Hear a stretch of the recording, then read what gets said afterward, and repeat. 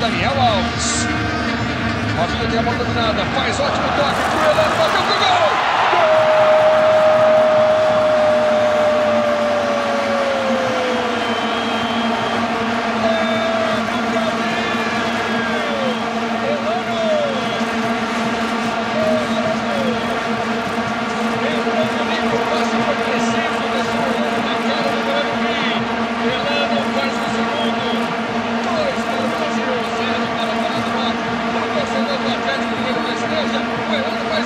Tira do Robinho.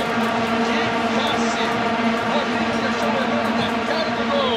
E lançamento para João Taiceiro. Ele ajeitou para trás. Lá vem a do Norte. Quem bateu pro gol?